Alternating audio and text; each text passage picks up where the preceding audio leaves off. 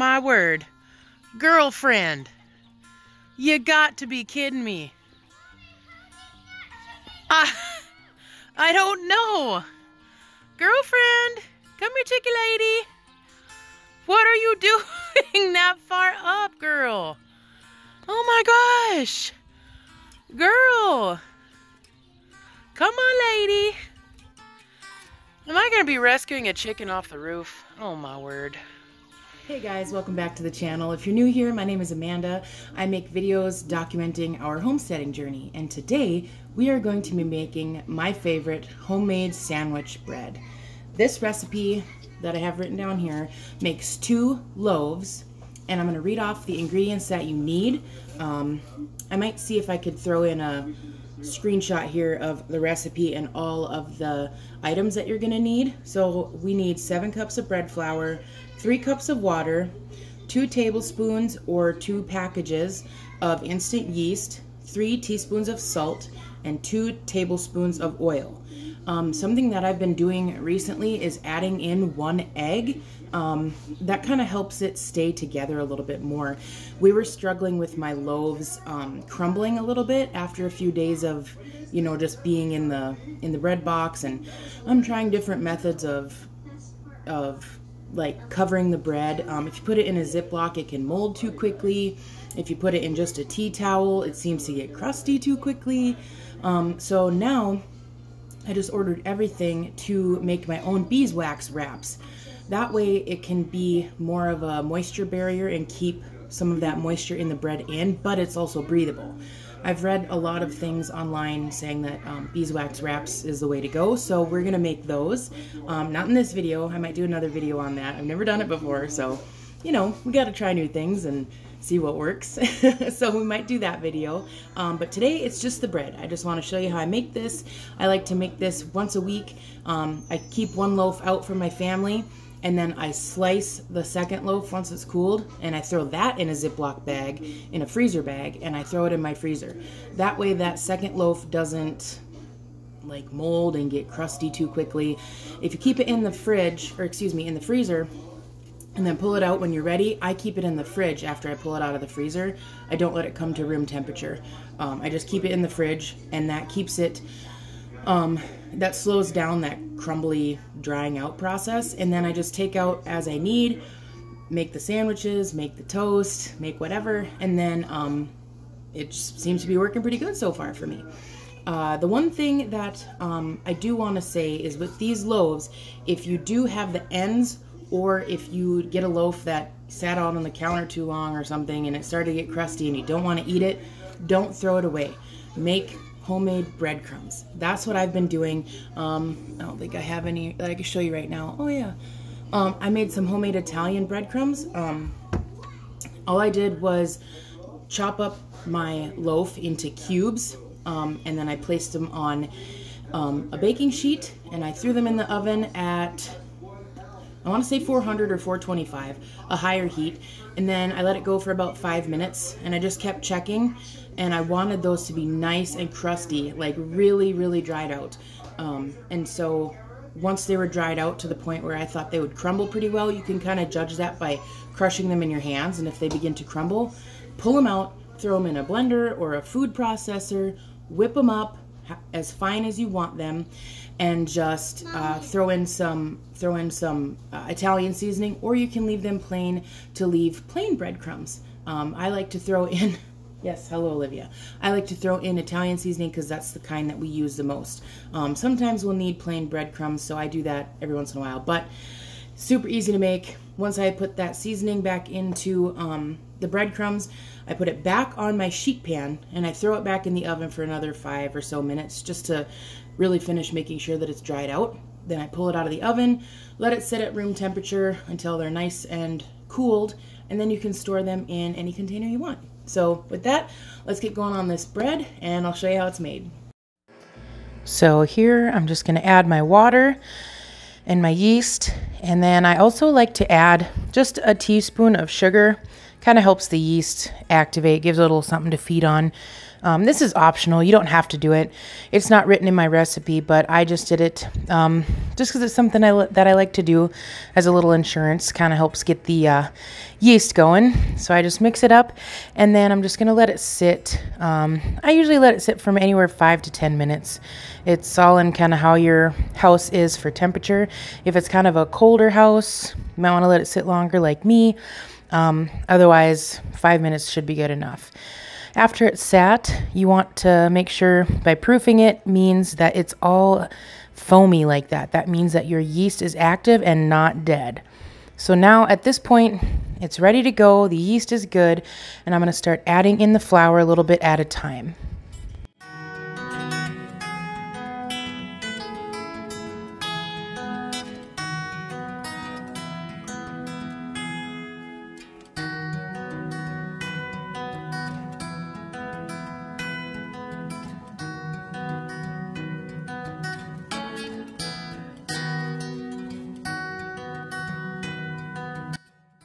Now once I get a few cups of flour in, now is when I'm going to add my salt. I'm just going to throw it on in there and then I'm going to go ahead and add um, the oil and my egg. The egg is optional. The egg was just something that I've been doing just because I've been seeing different results in my bread with it. Just making sure that it's my bread sticks together. That was the whole purpose of adding the egg in there. And I think it makes a difference, but you can completely omit the egg if you choose.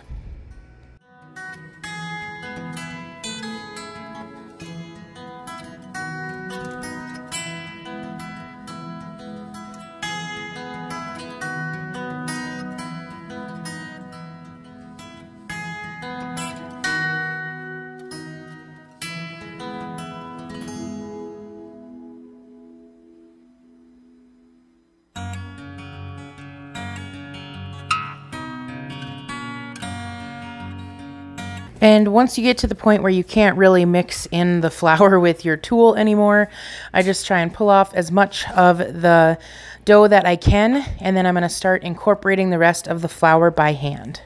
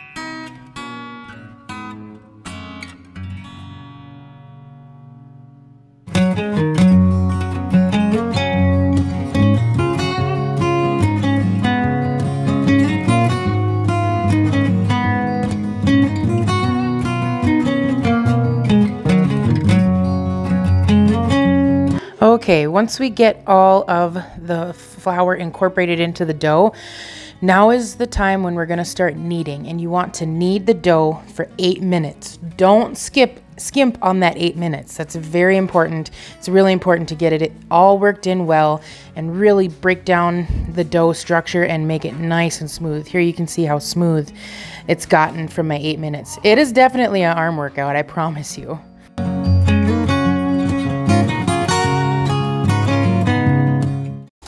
Okay, you see that? How smooth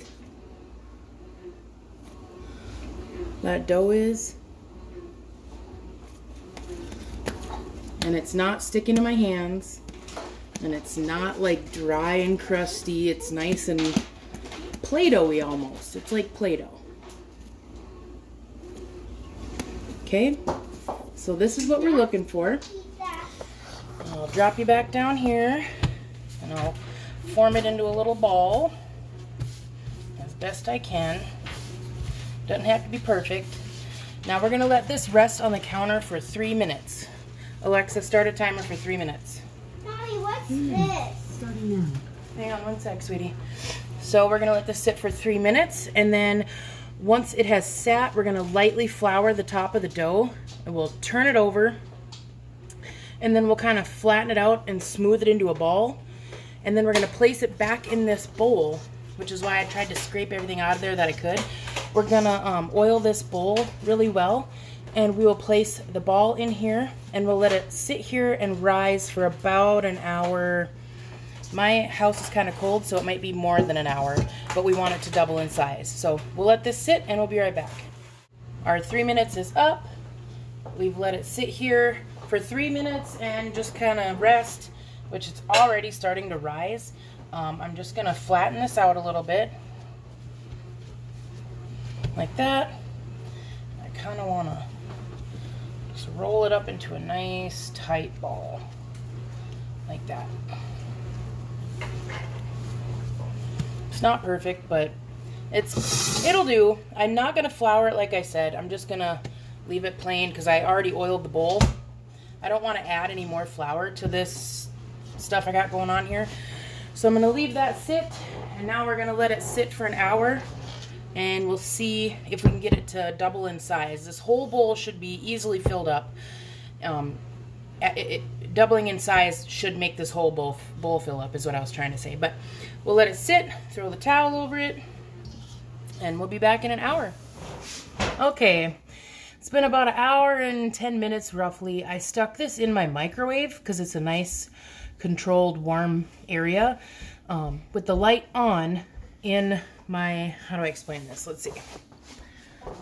I left my, ah, my uh, light on, my, my, oh my goodness, words aren't working. My light underneath my microwave because I have this microwave with the light underneath and that helped really heat it up in here. So it was nice and toasty in there. That was a lot harder than it needed to be explained. but anyway, I just pulled it out and it, it definitely doubled. Excuse me. So now that we're doubled, we're gonna punch it down, roll it out, and now all we're gonna do is split it into two roughly equal pieces.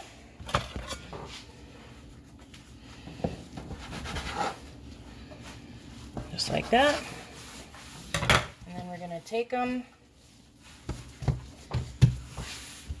and try and just roll it into a little bit of a ball.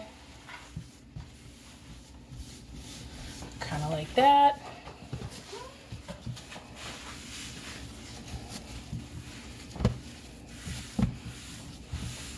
Doesn't have to be perfect, however, however you want to shape them. So now we have these two ready to go. We're gonna let them sit for 15 minutes. Then we're gonna flatten them out and shape them to the size of our pans. And we'll get them on their final rise after these 15 minutes are up. Okay, 15 minute rest is up. And they did rise a little bit while sitting here. I've got these two pans greased and ready to roll.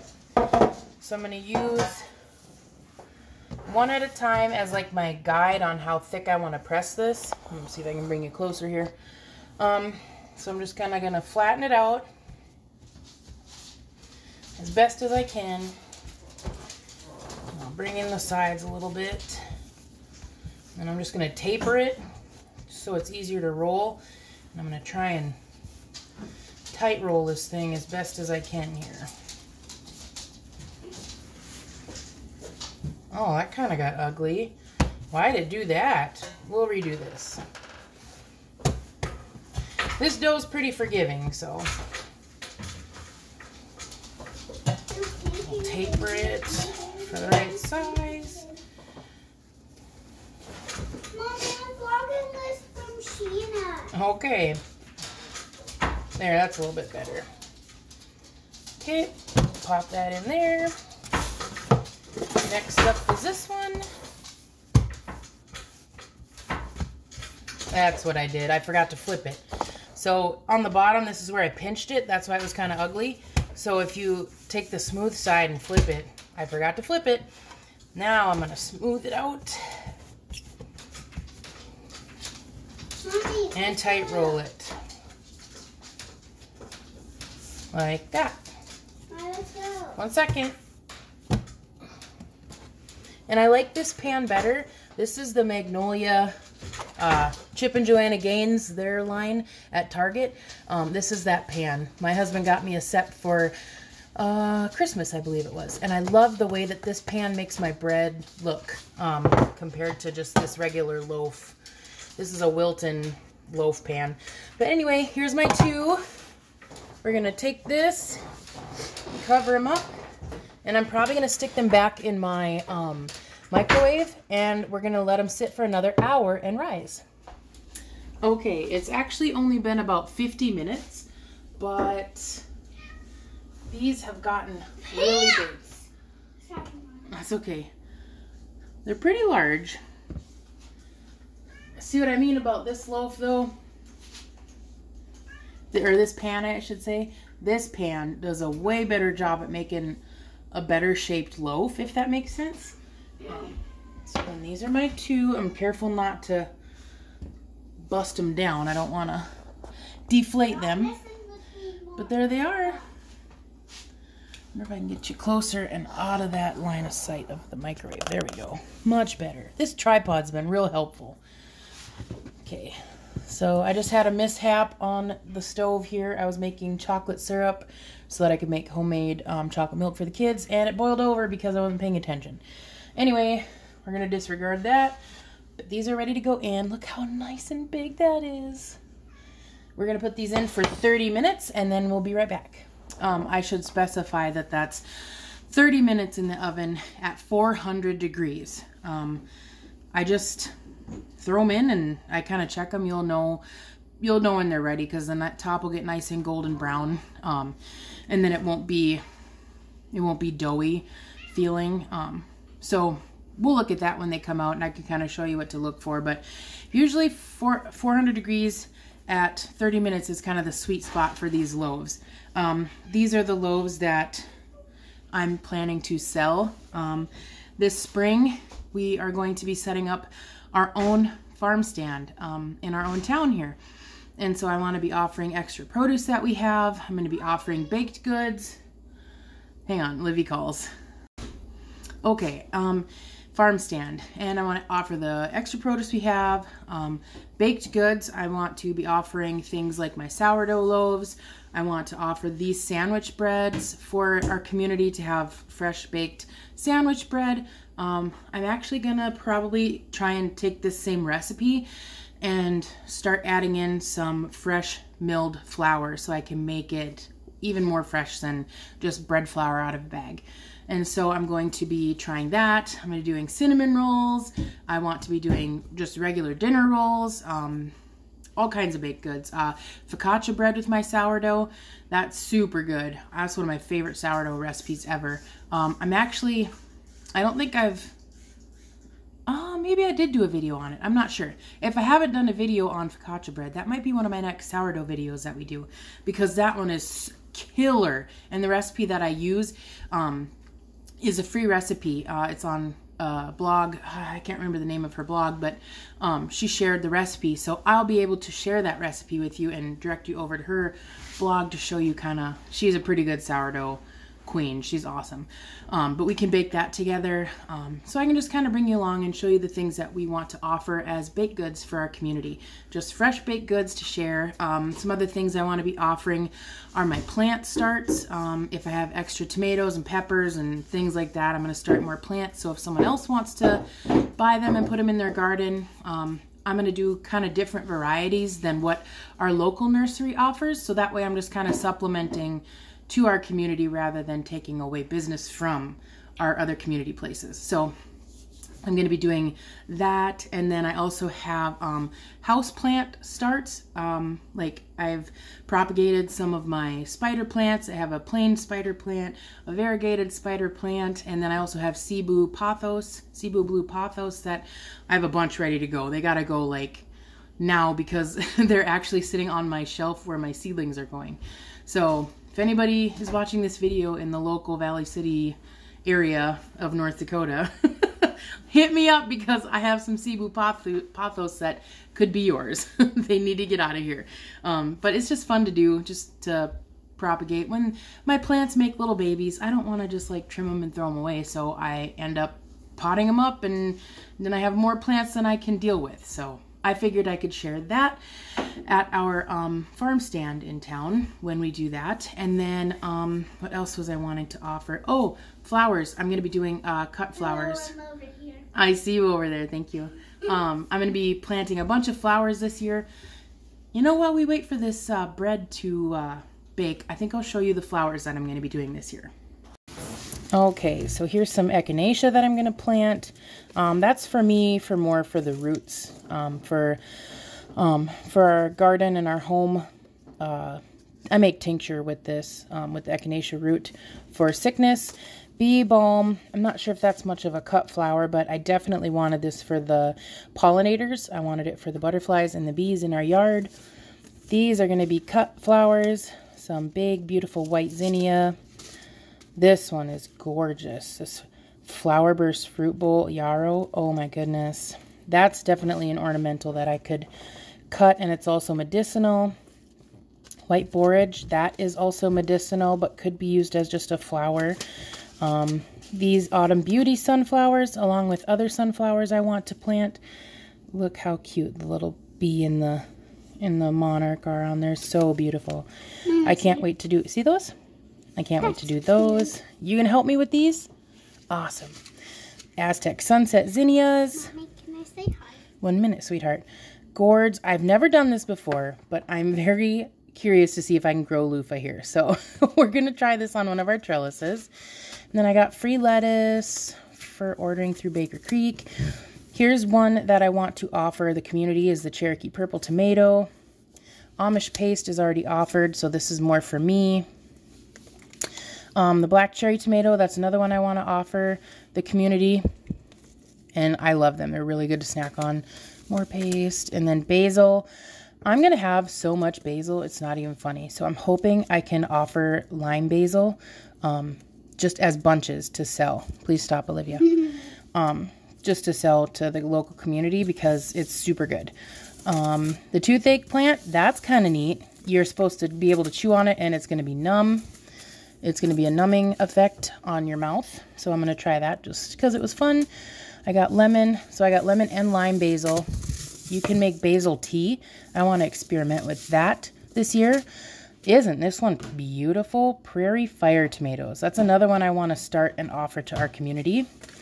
And then I got just melons. And then obviously I needed milkweed because I really want to get some butterflies in our area. So we're going to be adding some milkweed. I do have more cut flowers that I want to plant, but they're not in this bunch that I had inside that I wanted to show you quick. You can say hi to everyone. Hi. what else did you want to say? Nothing else. That's it? Yeah. Okay. You going to be my big garden helper this year? Yes. oh, oh, oh. Okay. They're out of the oven. I put some butter on the top just for flavor and it kind of softens up that crust a little bit too. And they're nice and solid. You want to hear, it's like ASMR for bread or whatever, but nice and you can hear that it's it's done all the way through because it's almost like a hollow sound. But that's one way. They're nice and golden and they're not falling down. That's one way to know that they're not doughy in the middle. Here's my other one. Yeah, there they are. And here's the bread right out of the pan. I let it cool down to room temperature and I popped it right out of the pans. I just had oiled my pans with a little bit of olive oil. And then once they cooled down and came to room temperature, they came out no problem. So here they are and they look great just beautiful and golden. And then I did get this slicer off of Amazon and I highly recommend it. It, it has been a game changer for us. I'm going to link it down in the description. Um, I don't have an affiliate link set up yet because you have to have X amount of people click on it and buy stuff. And I'm just not to that point yet. But I still want to share this with you guys because if you do choose to start making bread at home and you're going to be making it weekly, highly recommend this just to help you get those nice cuts and beautiful bread every time.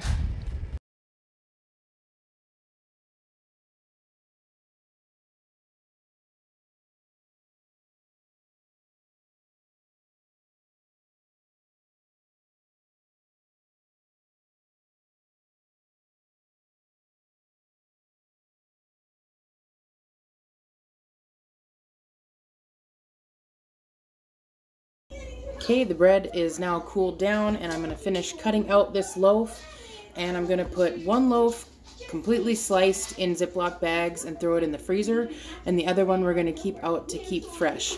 Um, I will link that uh, bread slicer that I have down in the description. Um, it's been super handy because it makes the cuts super accurate. I mean, you can think you're hitting it and making the cut super accurate and then you grab your piece and it's super thick on the top and skinny on the bottom so highly recommend getting one of these if you're going to be baking bread for your family like every week it's definitely worth the investment they're not super expensive um, they're just really helpful to have so I hope you give this recipe a try, and if you do, let me know in the comments what you think about it.